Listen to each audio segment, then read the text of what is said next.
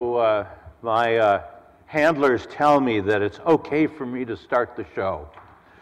So thank you all for being here. I am uh, John Finnegan, and I am Dean of the School of Public Health here at the University of Minnesota.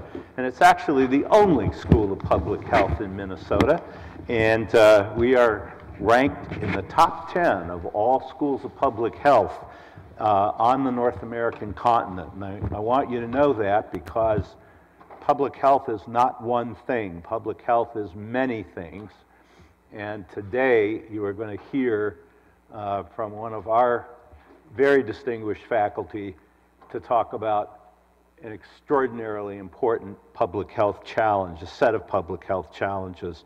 And uh, my pleasure to be able to introduce to you uh, Mike Osterholm. I want to tell you a little bit about Michael, and, uh, and then we'll get underway. But I should let you know that uh, to start off with, this is being YouTubed live.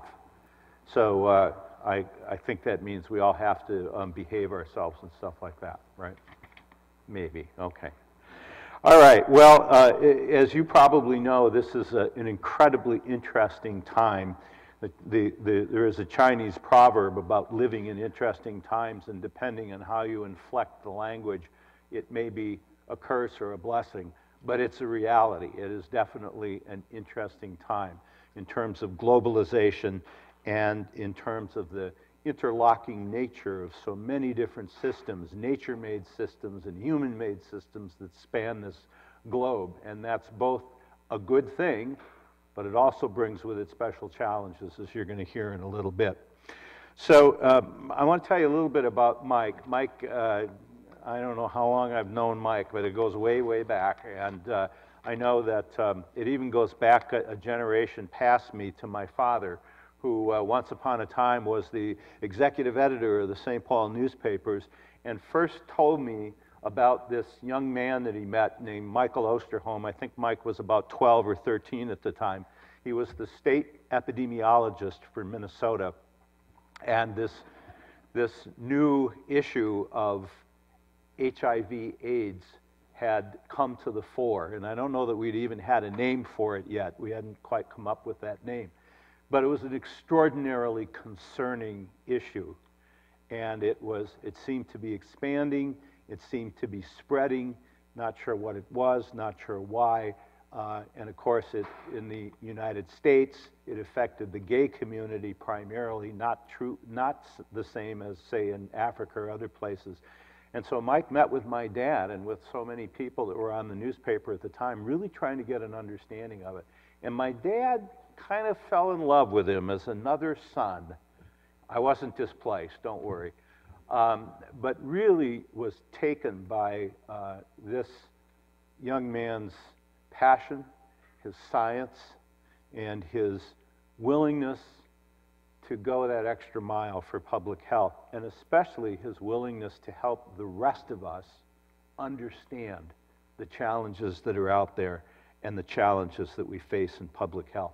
And that's where we are today when we come to deal with the issue of infectious disease infectious diseases, you know, been with human beings since we first became human beings and even before with the ancient ancestors and probably will be with us long after our species is gone. So it's, it's really an issue of how do we live, how do we adapt to the, these kinds of challenges uh, in a positive way. I want to tell you a little bit about Mike here and then I'm going to hand over the podium to him. So Mike is a University of Minnesota Regents professor. And uh, for those of you that don't know what that means, that is the absolute highest honor that we can give a professor in this university. It's the top. It means that you have really had an impact in the field that you represent and that you are recognized as one of the great academic leaders that Minnesota has provided to this state and to the world. Um, you, if you know Michael at all or get to know him, you will also come to know that he is very passionate about mentoring next generations of students, of young faculty, of budding scientists to do what he does today. And I am so pleased to see the students here from uh, Shattuck St. Mary's, um, I, we, you know, we'll save a place for you in our graduate program when you're ready to come into public health. Uh, it is terrific to have you here. But this is the kind of thing that becomes really, really important. It's important to Mike, it's important to me, and all of the people in public health, is mentoring that next generation of faculty and of uh, public health practitioners. So um, by all means, I hope that you will be stimulated to move into those fields uh, as you approach your college work and your graduate school work.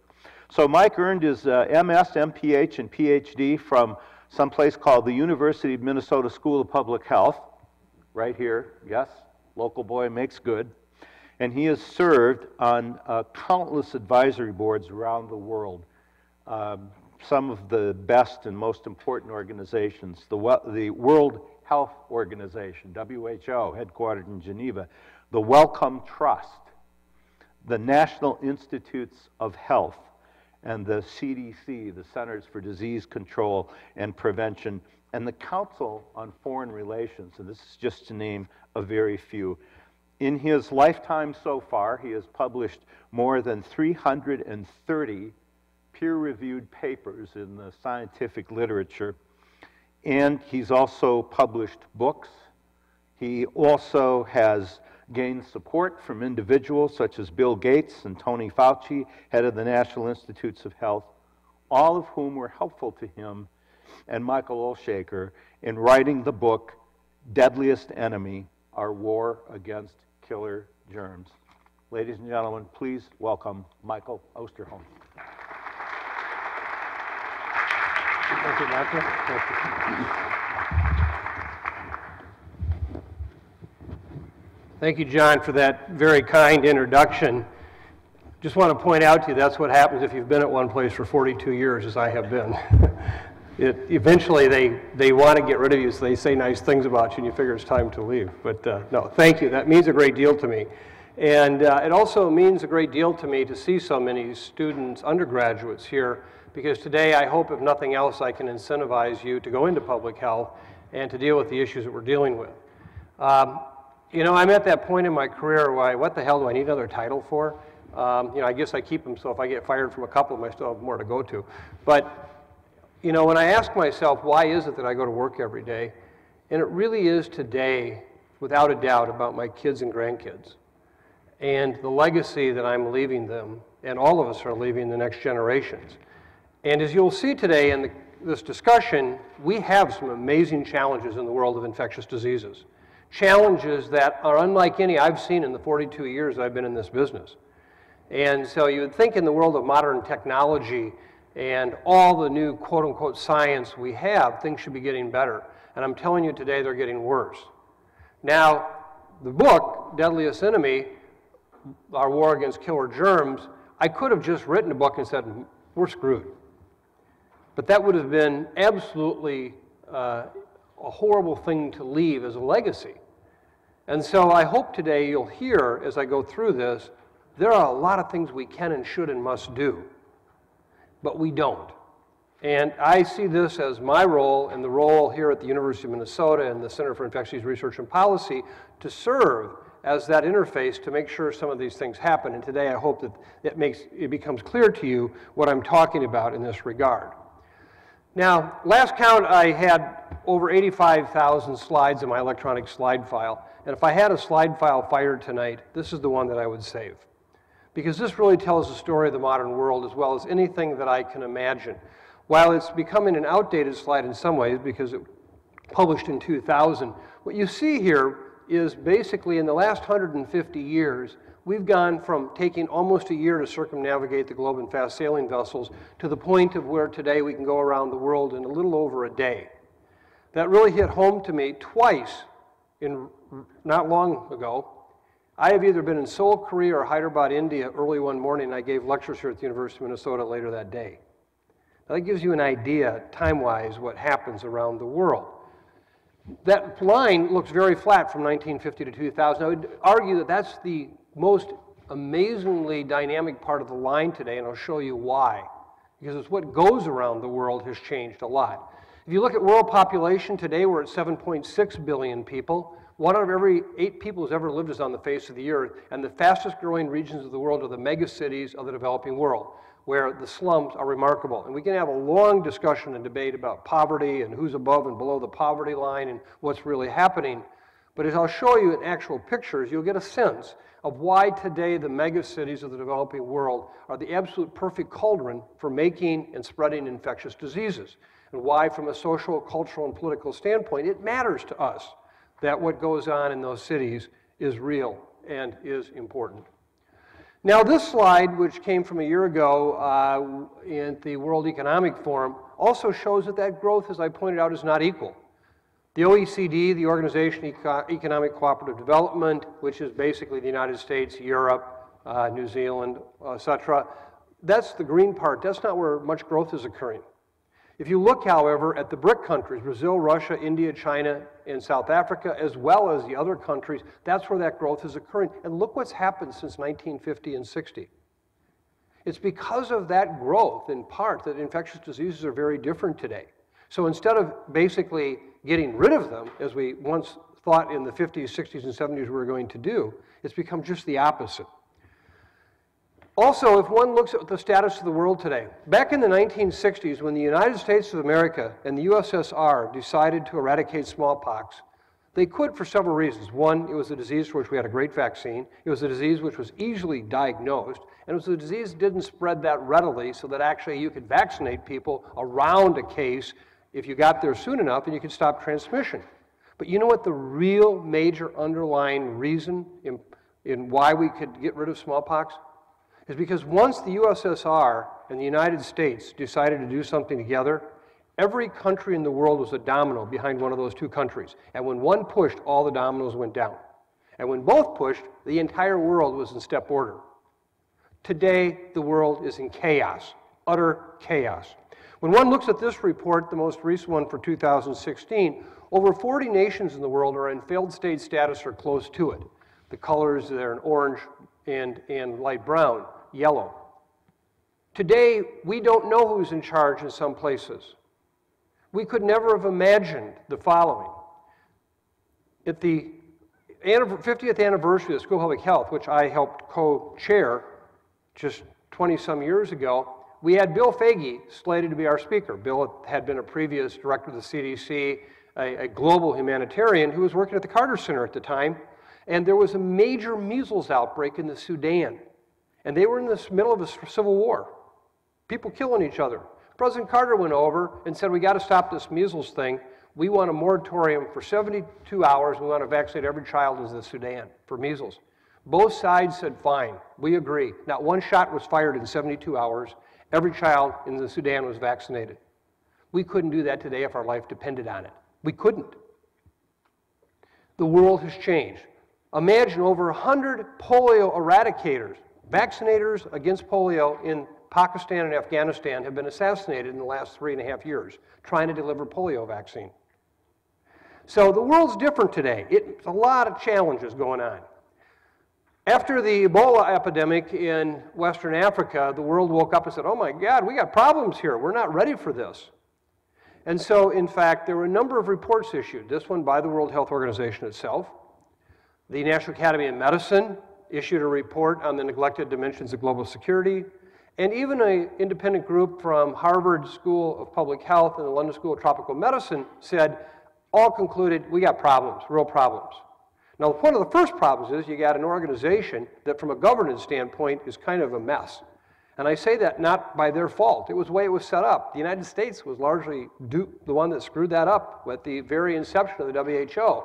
We had PAHO, the Pan American Health Organization, here in the Western Hemisphere, that was a very strong regional organization. We didn't want it to be subservient to WHO, so we set up these local regional governance structures that pretty much could overdo anything that Geneva said to do. That's a challenge. Today, we know that. Also, you have 194 country voting members of the World Health Assembly that can kind of tell you what to do. Imagine any board of directors, 194 strong in any company today, and ask them how they're going to get things done. Imagine if we had 194 Board of Regents uh, members. And so today, WHO languishes in a relative budget crisis because dues have not been raised for years. And so when I talk about WHO and its inability to respond on a global basis, it's not being critical of the personnel. It's critical of the system. And in Deadliest Enemies, we go into great lengths to talk about that. So, what happened? Well, not much, except for people like Bill Gates and others came forward and said, you know, we've been looking at this carefully and we've decided, you know what? The real risk to the world today is not thermonuclear war, it's not an asteroid hitting the Earth, it's not even global climate change in the short term. It is really an infectious disease. It's the one thing that could rewrite and change our history. Mr. Gates just said two weeks ago in an article the one thing that could kill hundreds of millions of people soon is an infectious disease pandemic. Even the UN got in on it after the, uh, the Ebola crisis of West Africa and issued basically its own health crisis advice based on its analysis. And it was very interesting in this report that was released a little over a year ago that this is what the chairman of the report said. Following its extensive consultations, the panel notes that the high risk of major health crises is widely underestimated and the world's unpreparedness uh, and capacity to respond is woefully insufficient. Future epidemics could far exceed the scale and devastation of the West African Ebola outbreak. The panel was very concerned to learn that the emergence of a highly pathogenic influenza virus, which could rapidly result in millions of deaths and cause major social, economic, and political disruption, is not an unlikely scenario. So, where's all the support out of the United Nations today for these efforts? We talk a lot. We're really good at talking, and we're even better in some cases at writing reports. But in the end, what gets done? And that's all that matters to my kids and grandkids what gets done. And today I'm here to talk about that. Now, I've been fortunate to actually have been here at the university for 42 years, and I have had a number of major, major graduate student uh, experiences here with some of the best and brightest that I could imagine. And I know that they're on board here, but we need many, many more people to join the hunt to get into the middle of this. When one looks at the close proximity today of the modern world and the developing world, you can see how, in fact, we have challenges. Today, estimates of drug resistant TB are changing right before our eyes as we actually go into countries and begin to really uh, very intensively assess the status of that and try to accurately portray that, we find out that our estimates are really woefully low compared to what we're actually finding. And a country like India is an example of that. Take a look at what's happening in Africa right now. The fastest growing cities in the world are in in basically sub-Saharan Africa. Kinshasa, Democratic Republic of Congo, 13.8 million people. Four other cities in the DRC are over a million people. I'll show you in a minute some of the worst slums you could imagine in Kinshasa. Lagos, Nigeria, 13.2 million. Five other cities in Nigeria, over, uh, over a million people. Nairobi, Kenya, 4.1 million people. I can tell you, having been in Kibera, the slums of Nairobi, that it literally took several days to get the odors out of my nose after I left that slum. Accra, Ghana, 2.8 million. And I will point out to you because the three cities basically where the Ebola outbreak was heavily concentrated in Monrovia, Freetown, and Conakry, 4.2 million. Fewer people live in those cities, although they're large, than live in the slums at Kinshasa. So it gives you a sense of what we're talking about in terms of population size. This is Kinshasa.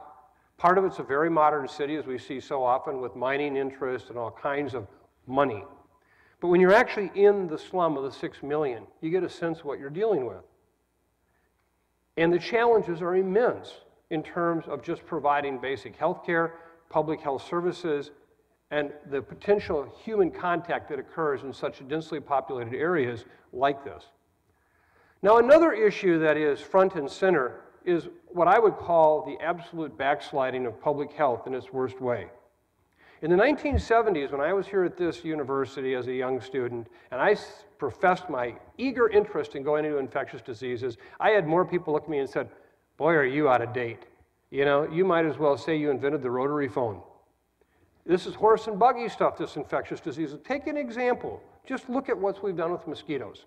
Aedes aegypti, the mosquito that is the vector for yellow fever and dengue and chikungunya and Zika and all these, a mosquito that was brought over in the first slave ships in the 1600s to the Americas, spread throughout the Americas. In the 1930s, you can see where it was located.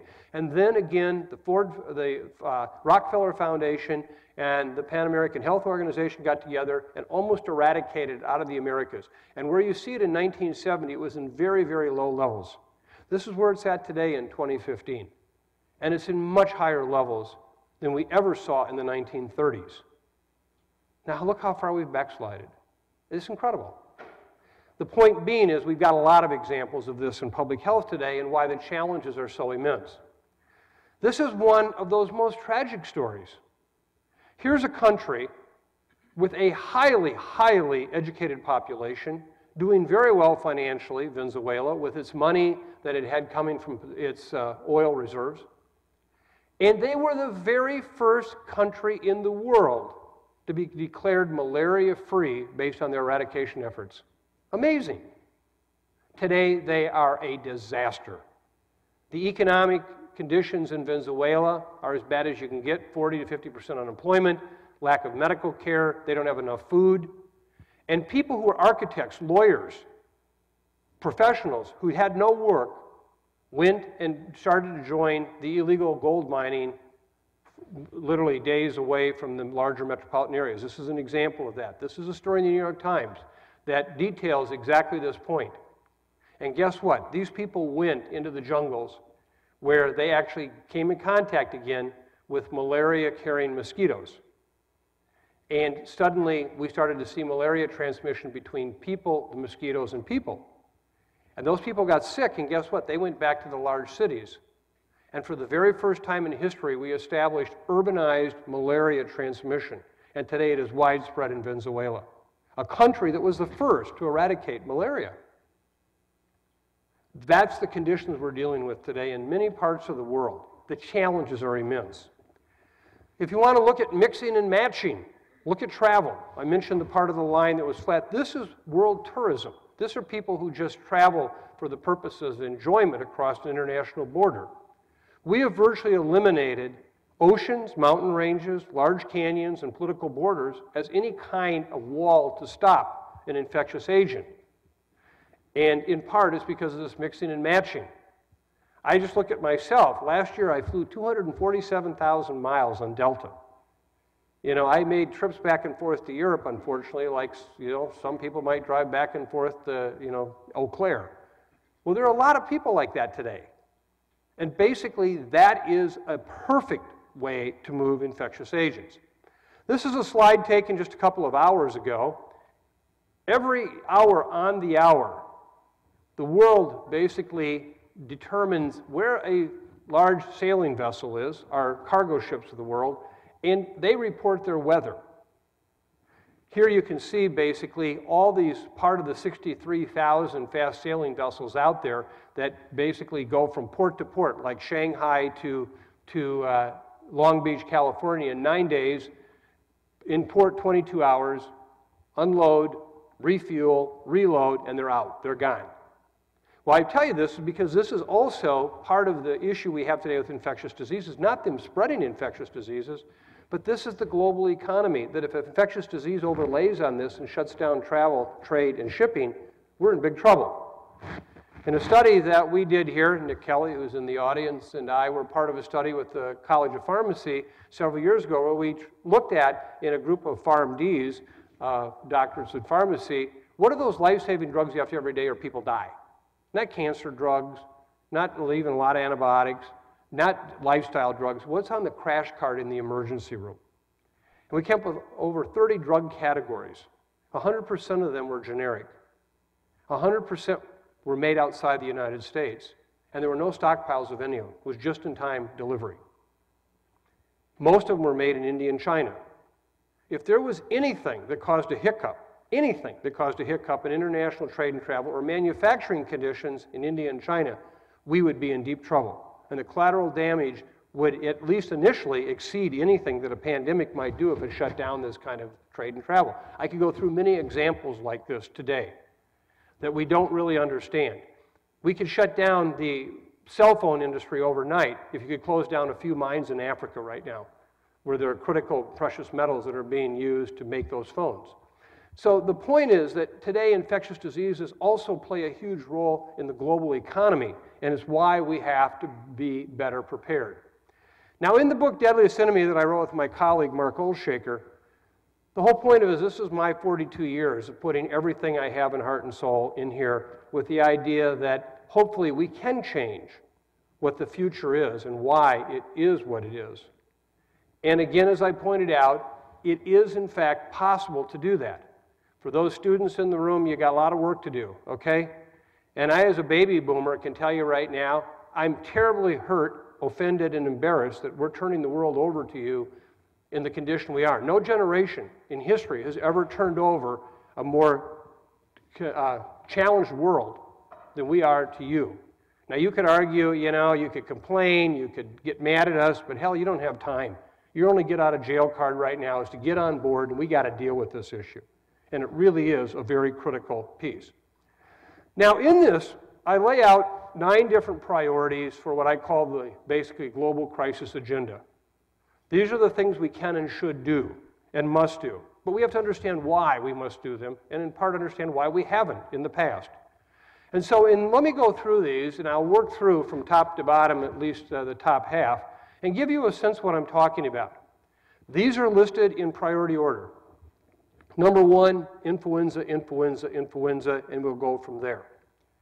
So when I say that, influenza, influenza, influenza, think of it like real estate location, location, location. There has not been another infectious disease in history that has been more of the king of infectious diseases than influenza, and that includes smallpox. A very serious, bad, bad disease that killed millions and millions of people, but influenza is the one that we most worry about. Why? It's because of several things. One, it's so easily transmitted. Two, with respiratory transmission, I might add. Two, is that we know that there is a natural cycle in which new strains emerge out of the animal kingdom that we're not ready for, and when they emerge, they are hell on humans. And then they ultimately end up becoming the seasonal flu strains. It still causes problems year after year after year, and we're not ready for that.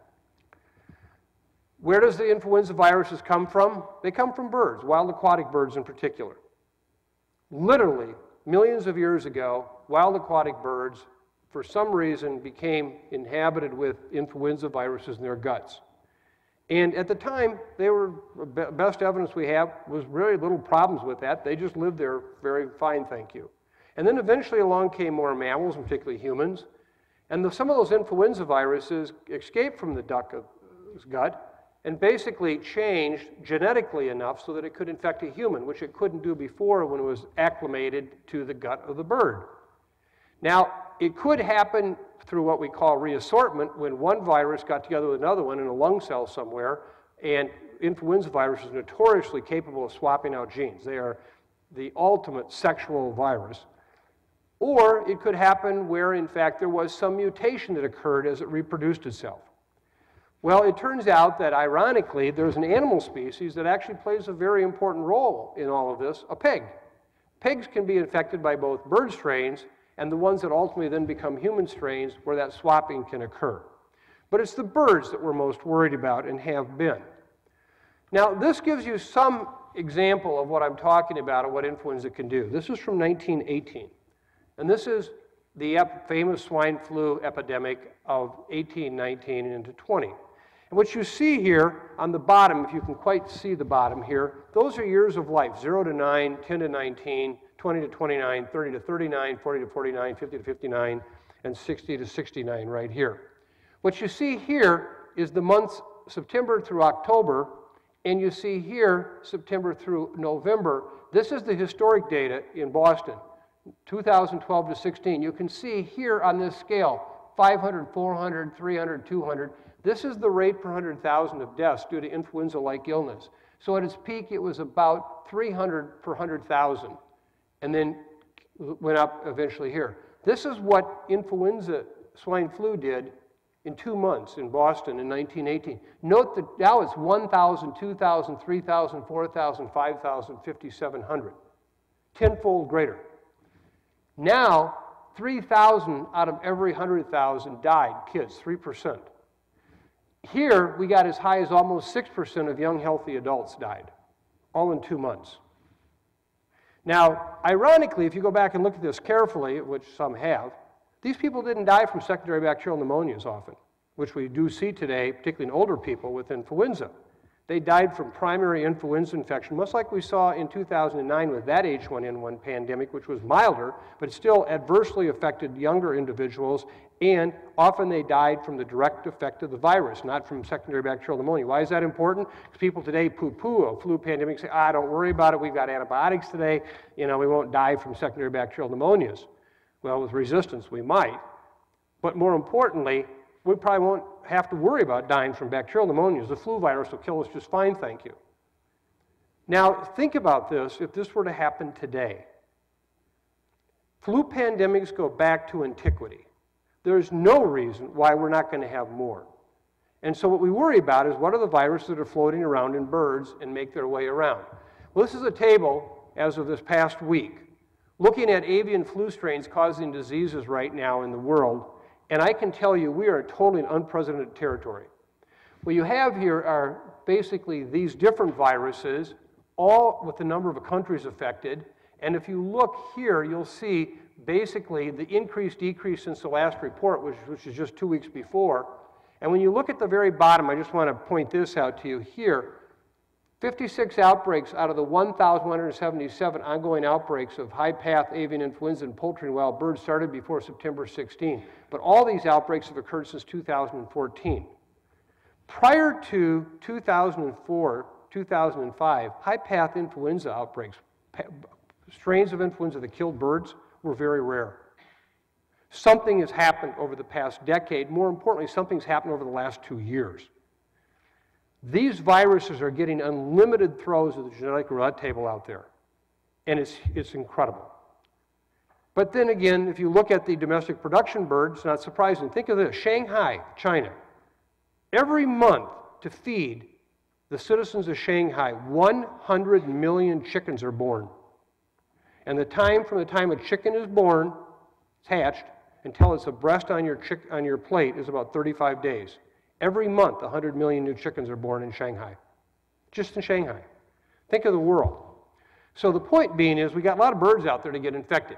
I want to point this out to you because it's kind of a perspectives piece. This was from February 2015. The WHO put out a warning about something's happening with these influenza viruses in birds. This is part of it. They say the diversity and geographic distribution of influenza viruses currently circulating in wild domestic birds are unprecedented since the advent of modern tools for virus detection and characterization. The world needs to be concerned. Now, mind you, also, we couldn't always find influenza viruses back decades and decades ago, but believe it or not, there are actually pretty good records on poultry uh, flock health. And we could say, did large numbers of birds die in the 30s, 40s, 20s, you know, et cetera? And we never saw anything like this. Well, here's the other paragraph in this article that came out in February 2015. Since the start of 2014, the Organization for Animal Health, or OIE, has been notified of 41 H5 and H7 outbreaks in birds involving seven different viruses in 20 countries in Africa, the Americas, Asia, Australia, Europe, etc.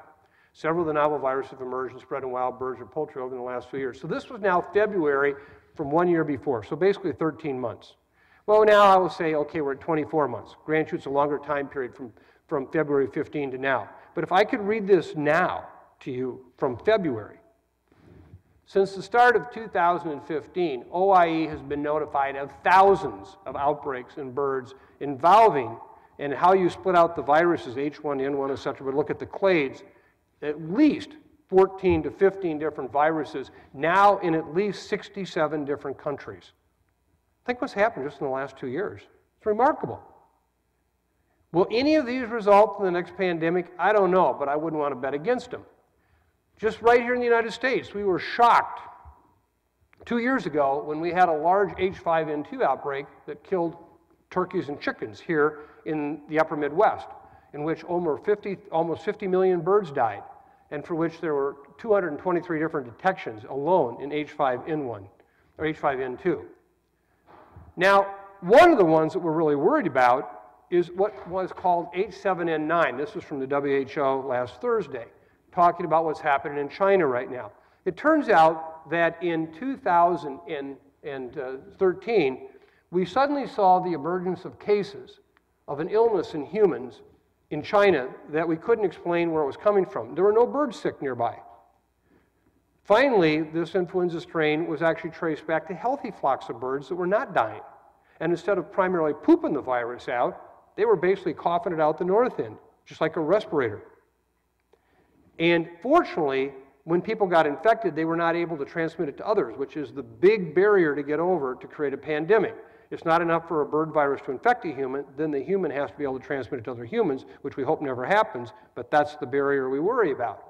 Well, we kept having these outbreaks through the winter months, and then suddenly something happened just recently, where these cases now have actually surpassed this wave versus any other wave by far, and for the first time we're now seeing chickens dying of H7N9, and they're still coughing it out the north end in large numbers. That's important because at least three instances in the last several weeks have resulted in person to person transmission, where there have been clusters of cases where somebody in contact with the birds got infected, but then they transmitted to people with no bird contact. Now, if I had to say that this was the beginning of a wake up call, could be. Do I know it's going to happen? No. But given the fact that 40% of the people have died who got this infection in the first four waves, and right now it's about 30% of this wave, it's not a good disease to get. If this thing ever becomes a person to person transmitted virus, we're in big trouble. And I hate to tell you this because even sometimes I have to lay there at night wondering, what the hell was I thinking? When I wrote the, the, Deadliest Enemy, I actually wrote a scenario out on what a beginning flu pandemic might look like. I wrote it eight months ago. And I wrote it about H7N9. And if you read what's happening now and you read this chapter, I don't know how it, the coincidence is remarkable. This is exactly it. So, are we ready to have a pandemic? I don't know. The pandemic clock is ticking. We have no idea what time it is. And I hope not. Maybe it'll be years from now. But what if it's tonight? Well, then the question is, what do we do about it? Well, the veterinary groups say, you know, we've got to do more culling of chickens and we got to make sure that we test them for this. But, you know, if your chickens aren't dying, people in China don't want to put them down. So, I mean, if anything, actually, if when they start to get sick and die, it actually helps us because at least people will agree to put them down. Right now, the solution is not by trying to deal with the poultry. The solution is going to be trying to deal with humans. Probably one of the most controversial papers I ever authored came out in 2011 in Lancet. The efficacy and effectiveness of influenza vaccines, a systematic review and meta-analysis, in which we said basically, man, public health has grossly overstated how well flu vaccines work, and we've been doing it for a long time. And it was based on faulty data. Basically, it wasn't that people lied, it's just that they didn't understand that the studies they were doing weren't really me effectively measuring vaccine effectiveness. And instead of being 70, 90% effective, a good year would be 50%. In many years, particularly in given ages, it might not even be close to that. In some years, it would be zero. And if a pandemic came along, we wouldn't have vaccine very quickly because it takes us four to six months to make it, as we saw in 2009. And we woke up and said, wow, we need better flu vaccines. So our group actually undertook a major project to look at flu vaccines and all the challenges we had. And guess what we found? Public health has so overstated the effectiveness of these vaccines that nobody wanted to invest in new vaccine research. Why spend a billion dollars for a vaccine you don't need? Because they already work, right? They don't. They don't work that well at all. I would urge you to get it in any one given season because you know even 50% is better than zero. But they're not the vaccines that we must have for the 21st century. On top of it, we found that there are vaccine technologies right now that are very promising that could be game changing flu vaccines that one shot could protect you against H1, H2, H3, H5, H7, H9, and even H11. And maybe you only need one shot every five to 10 years and it would protect against whatever variation occurs.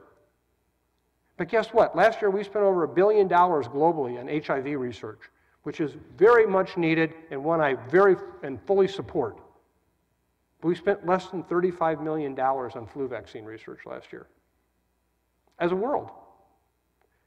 This has got to change. We need a Manhattan Project tomorrow on flu vaccines. If we could take flu off the table, it would be every bit as big, if not larger, of a public health victory than the eradication of smallpox.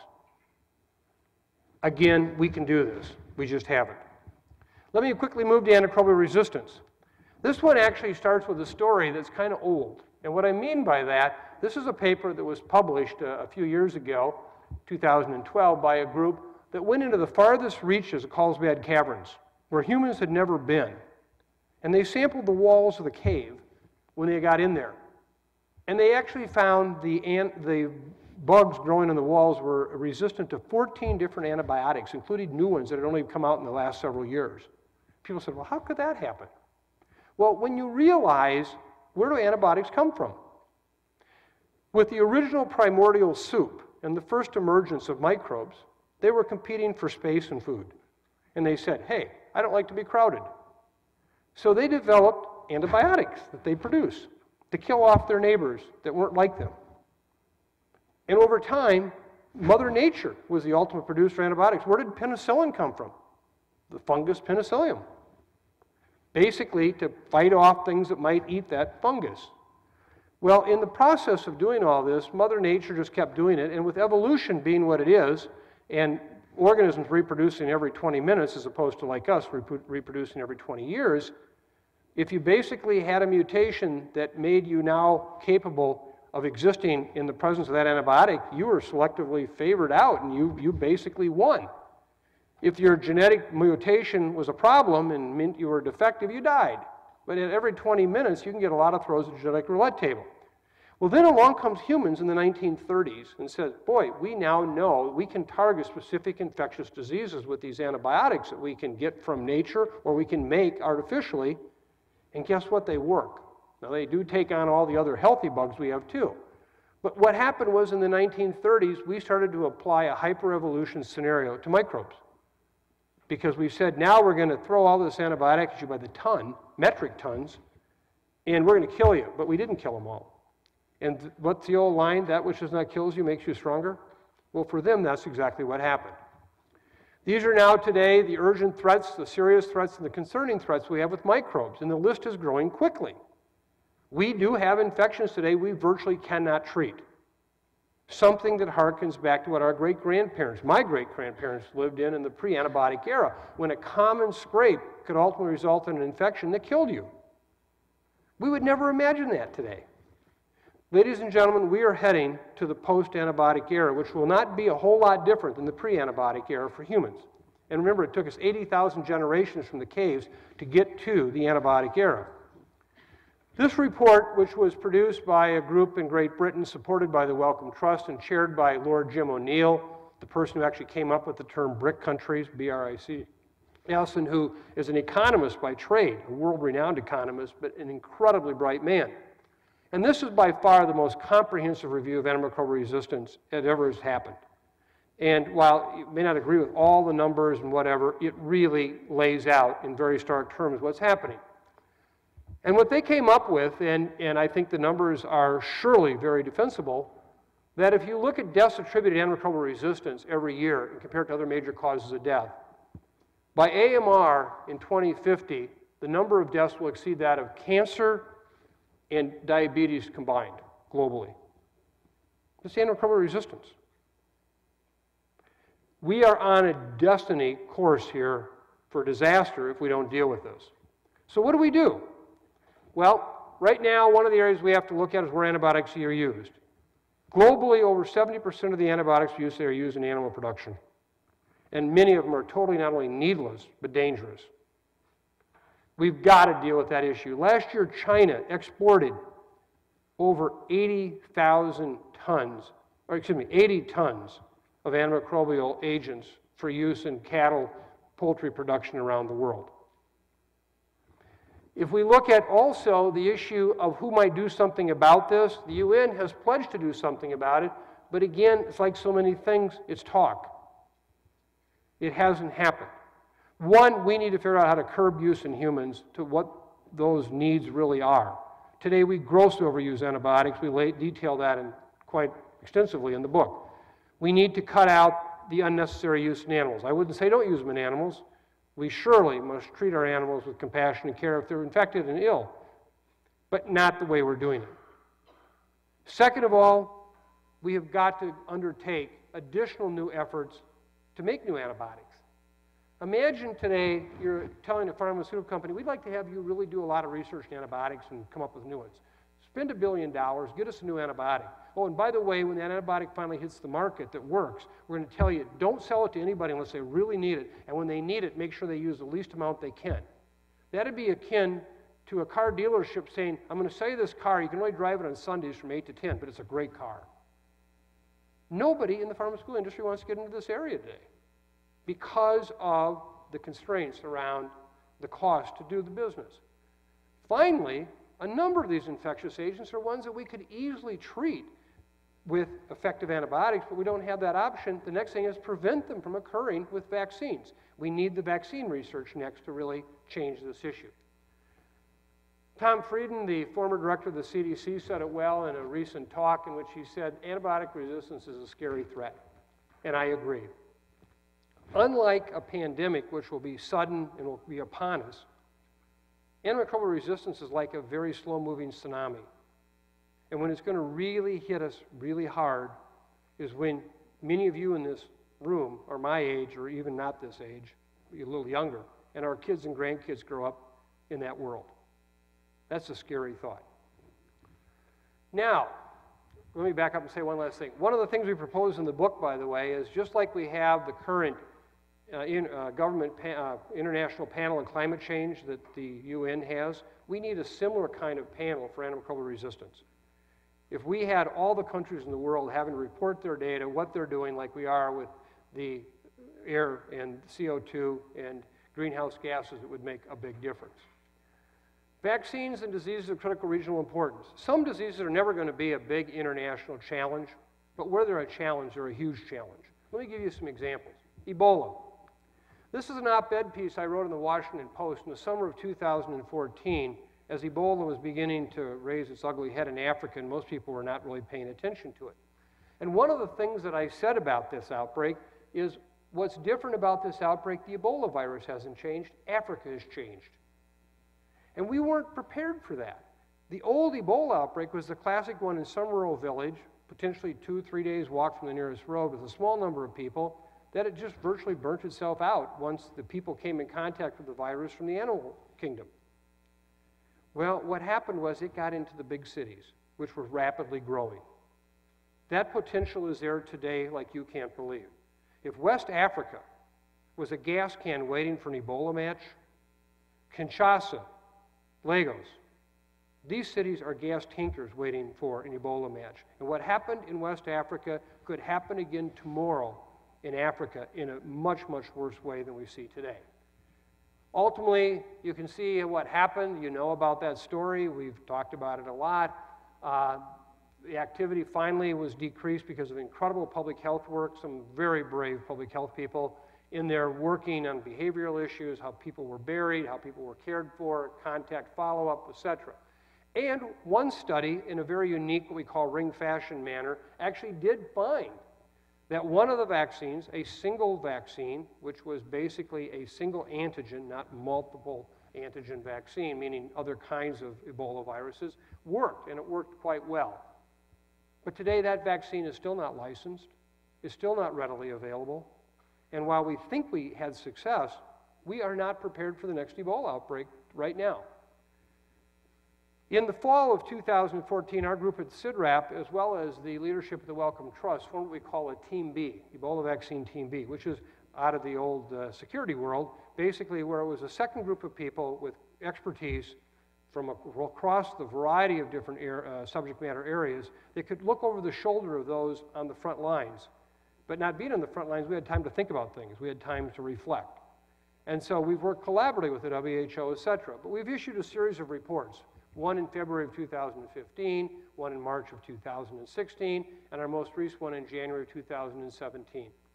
And let me just tell you, this group of 26 international experts have concluded that we got big problems right now with the Ebola vaccine and trying to move it to a final place. And in fact, two of the three major companies who've been involved are still working, but one's already dropped out after spending what appears to be well over $400 million.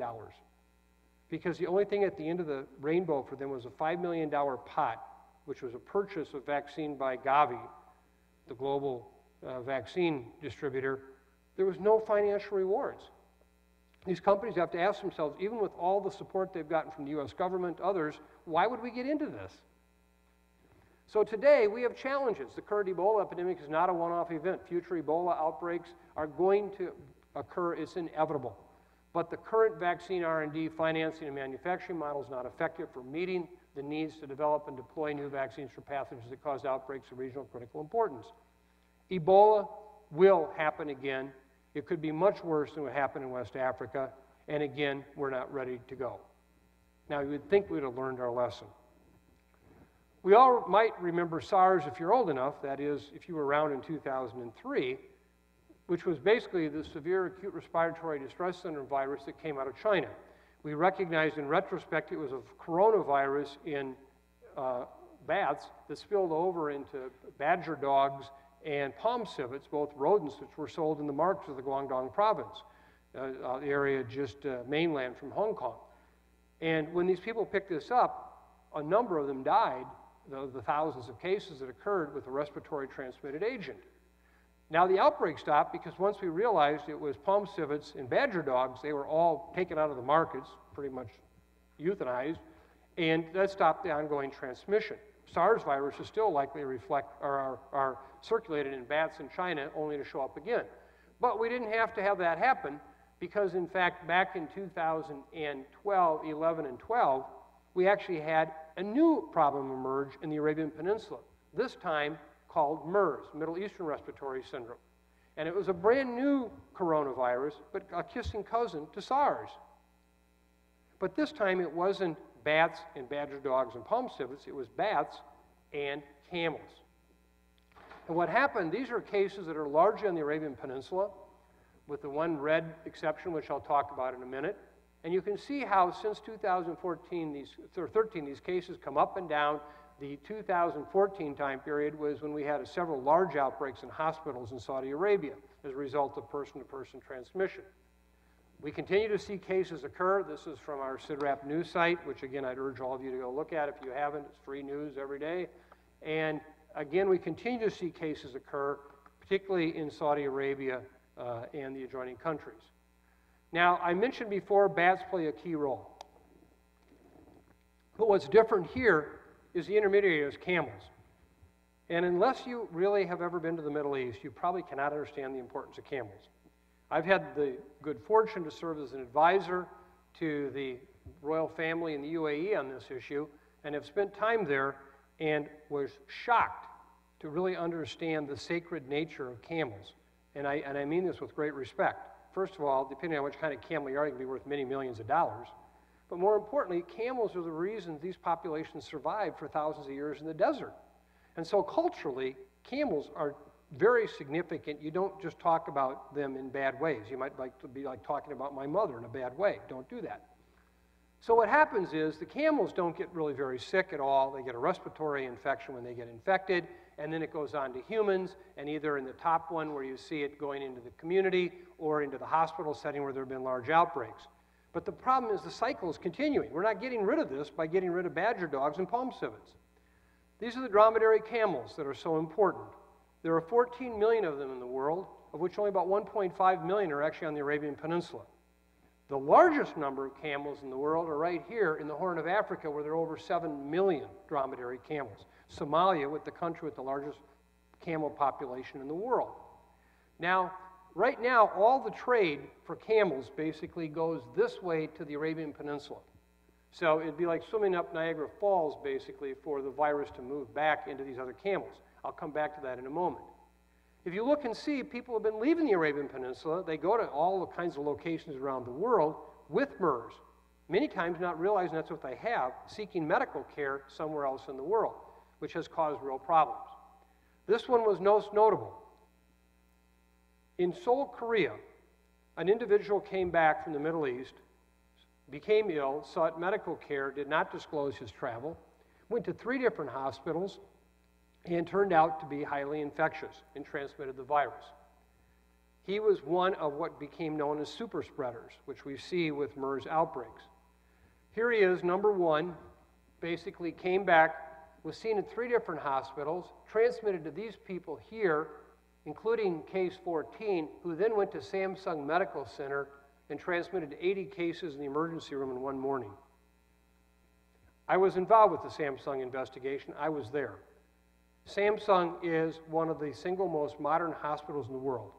Just like the name Samsung, modern electronic equipment, it would rival the Mayo Clinic, the Cleveland Clinic, Johns Hopkins, Mass General, and it was shut down for six weeks because of this massive outbreak and the number of infections in staff and patients. Ultimately, it caused a major national horror experience.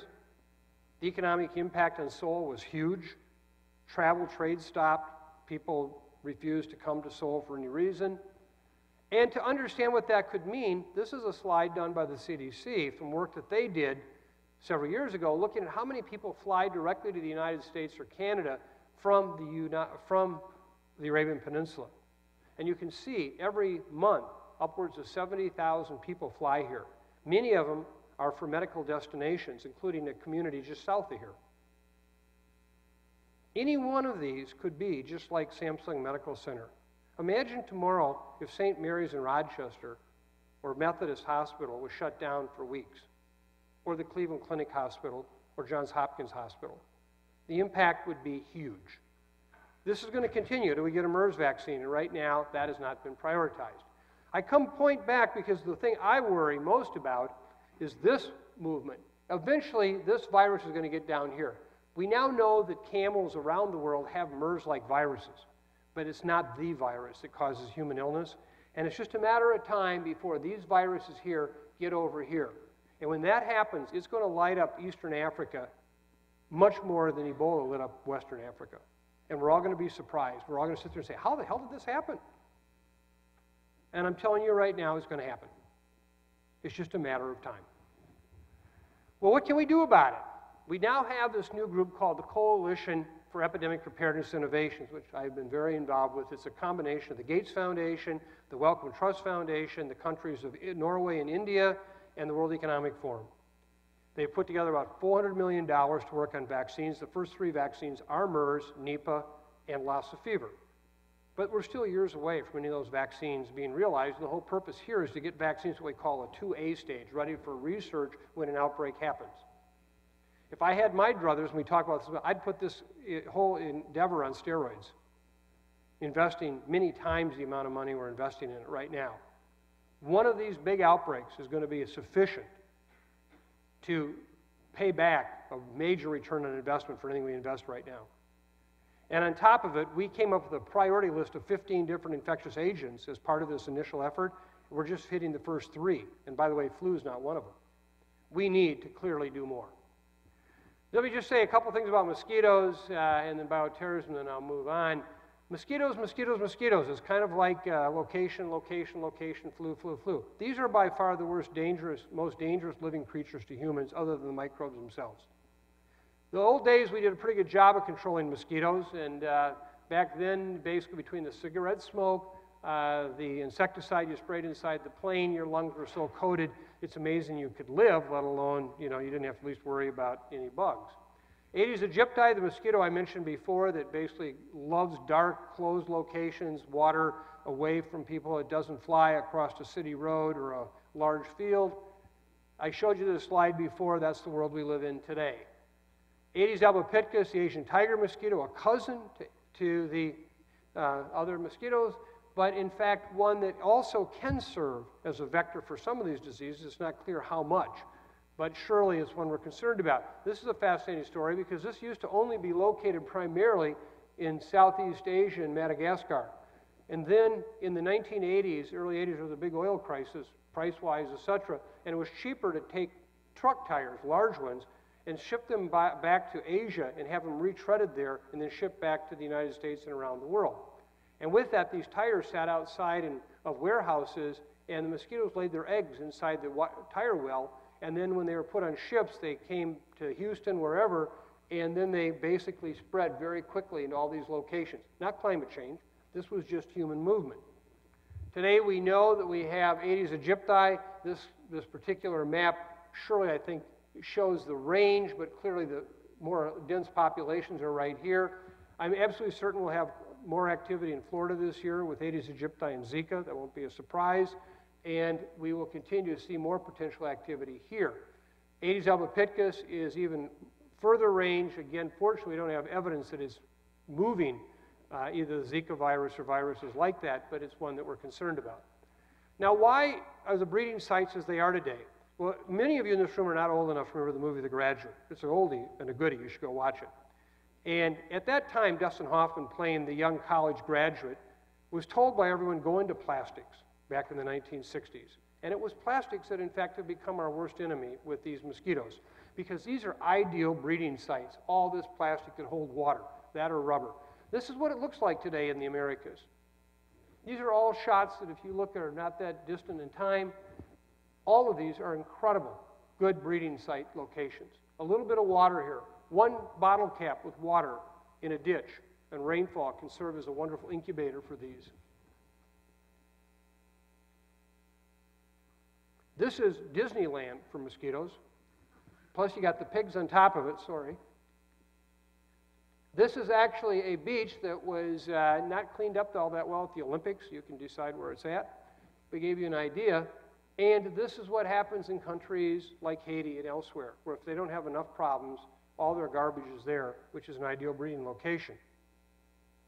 We got to deal with plastic. If we could deal with plastic, we could have a big impact and garbage in general on this mosquito.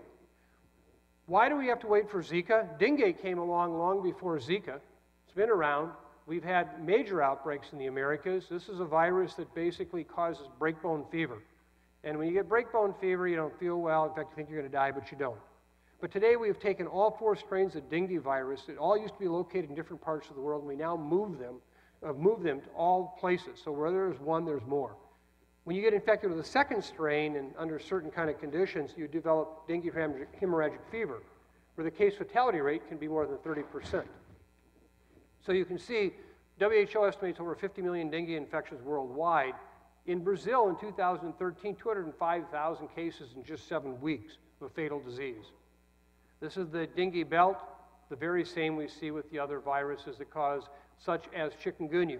This is a ProMed article showing here when it first arrived in St. Martin back in December of 2013. This was in, around the entire Caribbean and the Americas within 12 months.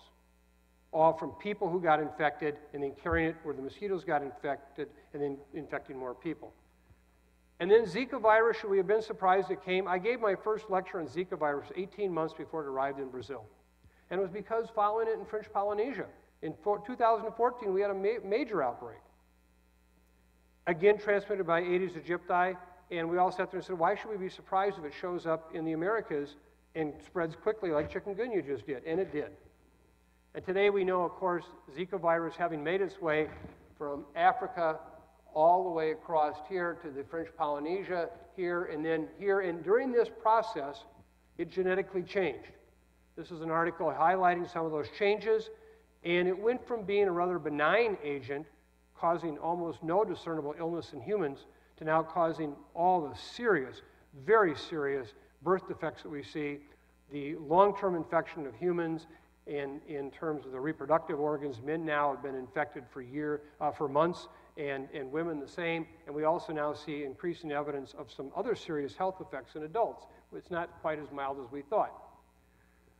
From the very first studies that came out of the Brazilian work, the CDC were very involved. To their credit, called the question about Zika and the issue with, with the microcephaly, the small head. Uh, clearly, the early articles, while challenged uh, by some, have now become the norm.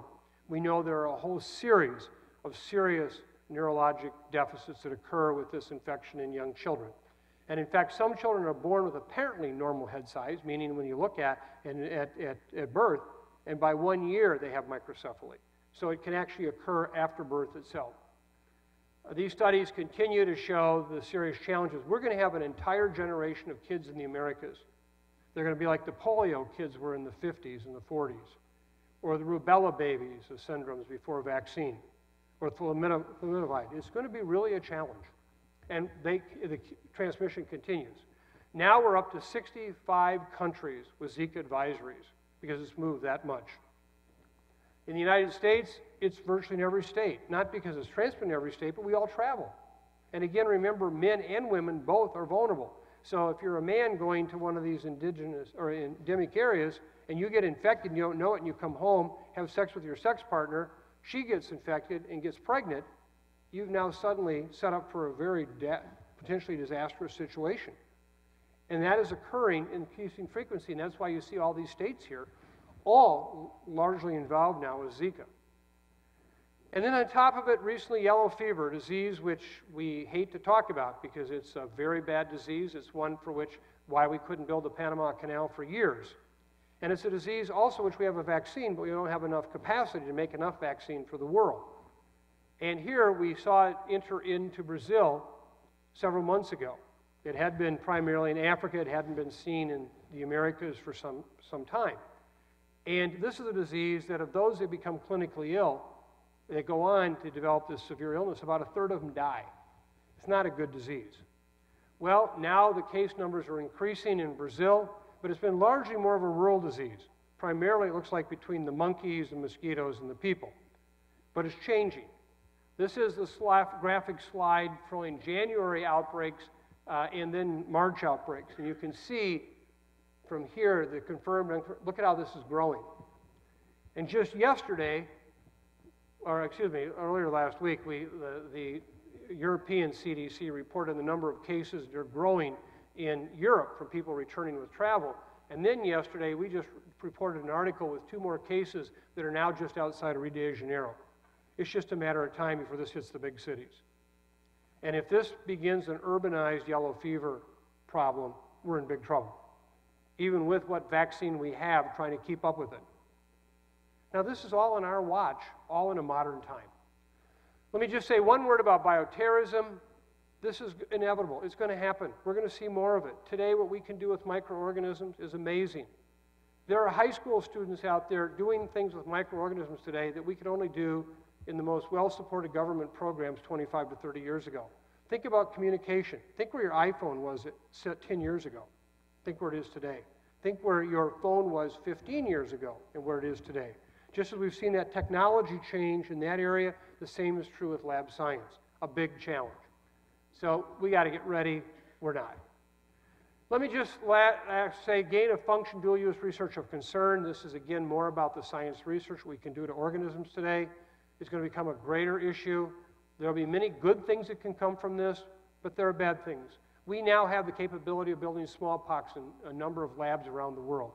Think of that from the genetic sequences that were published in the early 1990s, which we never imagined anyone could build a 1,600 story genetic building, which is what the smallpox virus, a huge virus, would require. Today we can do it. We are destined to have problems. HIV, TB, malaria, I haven't commented on that, but it's there and it's not going away. We've had some successes, but we can tell you right now, we are now outstripping treatment for HIV. The President's program for uh, AIDS treatment with PEPFAR, which is an amazing effort on the U.S. government's part. We now have more and more people who are infected who can't get on treatment. The resources just aren't there. TB resistance, malaria are huge issues. Climate change, I won't say more except it's here, it's real, it's going to have big impact, particularly on vector-borne diseases. It's going to have impact on rainfall, where people are now having to move to and from as migrants. And then finally, it's all about the animals. The One Health approach is so important. So many of these diseases that I've talked about today are humans and animals, humans and animals. We've got to understand it's not human medicine anymore. It's not veterinary medicine, it's our medicine. And that's a critical issue. So, what are we going to do about this? Well, we got some big troubles ahead. Uh, I won't say more. I'll urge all of you. I have an op ed piece coming out in the New York Times on Thursday morning, which goes into some length talking about the Trump new budget proposal. But it's not just the challenge of the money, it's the challenge of the science today that we have to be mindful of. It is a huge challenge. I have served roles in the last five presidential administrations. I worked for two Republican governors, two Democratic governors, one independent wrestler, and no one could tell you my partisan politics. I was always someone who was there to basically do the job I was supposed to do. I will tell you that if the anti science efforts of this administration continue, scientists have to stand up and say it is not acceptable. And infectious diseases are right at the cusp, where last week I don't believe this cut will happen, but when the administration they're going to cut the Fogarty Center at the NIH, one of the most valuable instruments that the NIH has to reach the world, is beyond me. It's, beyond, it's like saying I can get a car for 50 cents cheaper if I don't get a steering wheel in it. Beyond me.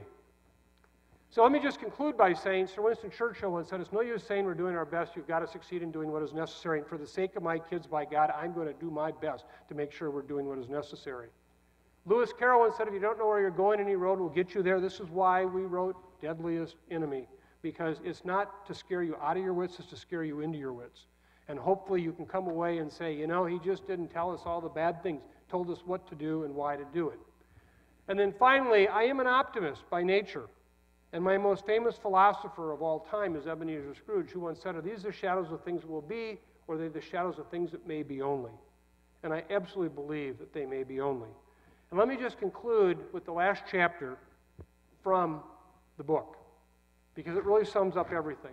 If we do start questioning and demanding as we should, and our leaders do start rising to their responsibilities in public health, will everything we proposed and endorsed completely neutralize the threat of infectious diseases and the severe, even terrifying impact on modern life around the world? Of course not. But what we can do with the necessary collective will and commitment of resources is to give many more people throughout the world, particularly our children and grandchildren, the chance to live out normal, happy, and productive lives. We can trade innumerable bad deaths for good ones. And that is all we've ever hoped for.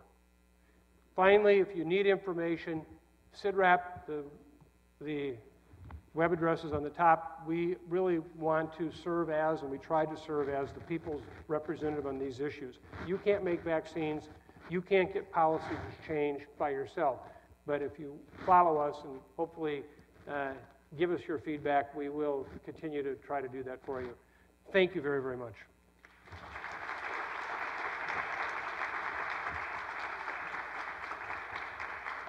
Thank you very much, Dr. Osterholm. And uh, as Dean Finnegan mentioned in his welcome, um, uh, Dr. Osterholm is just so very dedicated and, and, has a ton of passion for this topic, as evidenced by the slides that he was inserting into the slide deck moments before this presentation, trying to keep it relevant for, for you, this very important audience. So now we're gonna, um, thanks Patrick. We're gonna do a Q&A session. We'll open it up for questions, and I'm gonna pull up a screen here so that our online viewers can access the question uh, line as well. So we have a couple mic runners who will go around and um, field questions. So just raise your hand if you have one, and, and you'll get a mic handed to you. There, question up there.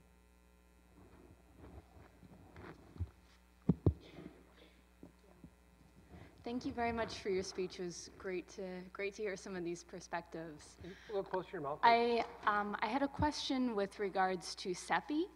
Um, Yeah. It's great to see the progress and the funding for for that organization right now, but I'm curious how you see those vaccines actually making it to market. So from the phase 2B, actually making it to licensure and then to access to particularly lower middle income countries. You have a job? We should employ you. That was a really good question. One of the challenges today is we don't have a market pull for these vaccines. Who wants to buy them? I mean, you know, if I, one of the frustrations we have, by the way, is, let me just digress a moment and say on Ebola. On Ebola Team B, we have eight African senior scientists on that group. And they're frustrated with the fact that the African countries have kind of said Ebola's over with, it's done. And nobody's sitting there talking about how could we redeploy Ebola vaccine? Imagine if we had a licensed vaccine that all healthcare workers, emergency responders, uh, burial team members, et cetera, were vaccinated now. We could put so many rods in the reaction, we could stop any big Ebola outbreak from happening. And we don't do it. And so CEPI is really an attempt to get the vaccines far enough to be in research status, but we still have to work out that last mile that says who's going to buy them all? I mean, we don't have a big purchase right now for Ebola vaccine, which should be the model. And so your point's well taken, and this is one of the things we're trying to work on right now. And in fact, we have a meeting next week in London in which we'll be talking a bit about this very issue. About, you know, it's not enough just to get the vaccines here. And $400 million seems like a lot of money to spend on these vaccines, but it's just a drop in the bucket when you look at the billions that are spent every time we have to respond to one of these.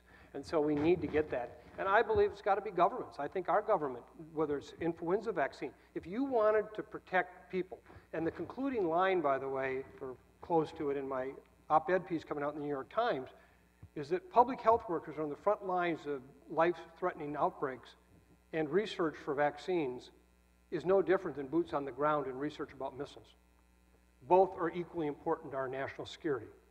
And I think in this case, we've got to get governments to understand what a wise investment it is to actually buy these and make them available because in the end, we save lots of money. But your point's well taken, it doesn't exist yet, that end-to-end plan, and that's what we need. We need that best desperately. But before, we didn't even have the push to get them far enough along for into research. So, any other question? One right here. Here you go. Hello, um, thank you for speaking. Um, my question was, do you think we're just, um, maybe I'm being pe- pessimistic over here, but do you think we're just having a hard time accepting our own mortality? I mean, um, as um, data has shown us that every generation or like time period has had a superior species, but then they've always they've come, they've dominated, but they've eventually had to go. Um, I was just wondering how much time the human race has. Like, do you think that Some days I think this is something that we can tackle? Yeah, I some mean, days, yeah, no, I, great, I mean, it's a great question. It's, uh, it's, it's, it's, um, God bless the innocence of youth. I mean, thank you. Um, it's one of those ones where, you know, we will be around for a while, but I have no doubt about it. The microbes were here before us, they're here while we're here, and they're gonna be here after we're gone. I think our job here is we can't outcompete the microbes from an evolutionary standpoint, so we've got to outthink them. We got to outsmart them. And that's what we need to do today, and we're not doing it. What we seem to be doing is doing all the things that make problems for us and making the situation for the microbes more conducive to their survival. We can change that. What it is in part is people don't think of microbes like that today. You know, the vast majority of microbes actually are incredible, incredibly important to us. Do you know that there are more bacteria in your body than there are cells in your body? And if you didn't have the microbes of your gut and on your skin and so forth, you'd have real challenges. And antibiotics actually disrupt that. That's another reason why not to use them if you don't need them. But I think the key message here is that there is a lot we can do. And that's what this is about. It's just, it's the willingness. One of the interviews we have in the book, actually, Dr. Robert Sheets, who was the head of the Hurricane Prediction Center for the U.S. Weather Service, was interviewed by Mark, my co-author, a number of years ago. Um, and he was asked, he said, he said, you know, Bob, what's the thing that keeps you up at night? What do you worry most about? And he said, it's an F4 or F5 heading straight into New Orleans and hitting it and we're not ready. And that was years before Katrina hit, which was only an F3. And, you know, when you sit back and think, he knew that was going to happen. It was just inevitable. And we did nothing to prepare. We do that so often. So today, what we've got to do is take a step back and ask ourselves, what are those things we just have to prepare for? We can't prepare for everything. But what are the things we can prepare for? And we should prepare for because they'll be so catastrophic.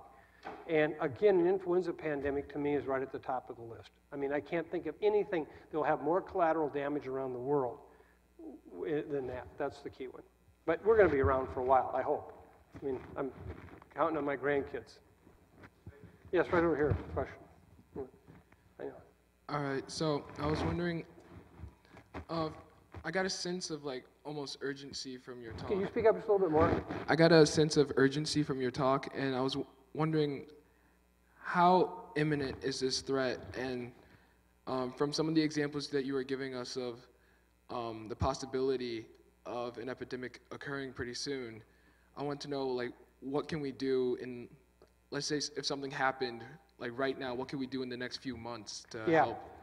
What can you do in the next few months if an epidemic like flu happened right now? Pray. Um, you're not going to have a vaccine early. And if you do get one, it, we don't know how well it'll work. Second of all, there's going to be a big impact if it's a severe pandemic on a lot of the things that you count on to be available every day, including even your electricity, because of the chain of events that can happen. And this is where we have to be prepared now. You know, failure is not an option here. And I think one of the things I would urge all of you, and you know, I, I don't mean to make it sound like, you know, kind of Pollyannish, but this is why CIDRAP exists. I mean, we're out there. We're pushing the envelope on Ebola vaccine. We're pushing the envelope on these vaccines. My book is hopefully making a lot of people feel uncomfortable. And so eh, support us. I mean, read our website, see what we're doing. And I think that's the key. And then when something does happen, and one of the things I worry about, I've been in a lot of bad epidemics. A number of my colleagues in this room, students and people from the Minnesota Department, have been with me. You know, I've had to stand in front of 4,000 very scared people because their kids were dying from meningitis in a high school and they wanted to know what the hell to do right now. And if that's the moment that you have to try to buy credibility, you're screwed. if you don't have credibility going in, I worry desperately about this administration right now, and again, it's not a partisan point. If credibility is already so questionable, if we get into a crisis, who are people going to listen to? Because you have to have leadership. You have to have people who will believe you, even if you have bad news. So, what's going to happen is we're going to have spokespeople. Hopefully, they're credible. Hopefully, they're going to tell you exactly the truth and give you direction. But basically, right now, there's not a lot you can do except support getting government and others to try to deal with this. You can't make a vaccine, but somebody can. And what we need to do is pressure those somebodies, which is largely elected officials, to do that. That's key. And don't give up your hope. Don't give up your con- conviction that something can be done. One more question? Yes, one right here, and then we'll, right, go ahead. Uh, so, I think so much of this depends on public health. And in this, especially in the US, that uh, it seems like all the resources are being depleted out of public health. And not just that, people unfortunately are, are trying to get rich, and you don't get rich in public health. So, how do you change that face and that culture that it seems like we're into right now related to public health to prevent these diseases and to attract people to get into public health?